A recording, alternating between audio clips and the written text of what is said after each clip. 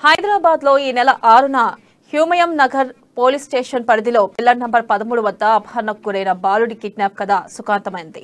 ఓ యాచకురాలు నిందిస్తూ నిద్రిస్తుండగా తన పద్నాలుగు నెలల బాబుని గుర్తు తెలియని వ్యక్తులు దొంగలించారని పోలీసులకు ఫిర్యాదు చేసింది.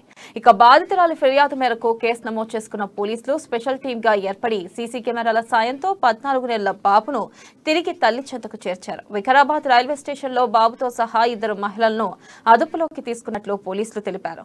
ఇక దస్తమ్మ లక్ష్మి అనే ఇద్దరు మహిళలు చిన్నారిని దొంగలించి భిక్షాటన కొరకు వాడుకుందామని ప్రణాళిక రచించినట్లు పోలీసులు వివరించారు.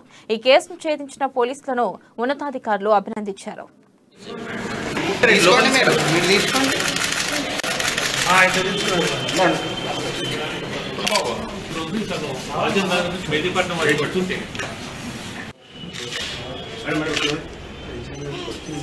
చూడండి మేడం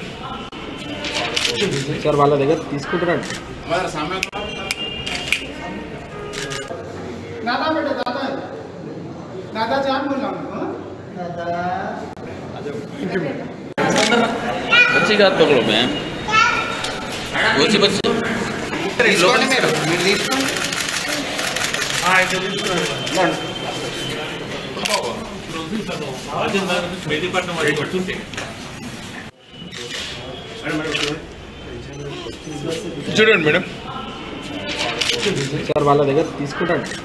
हमारा सामने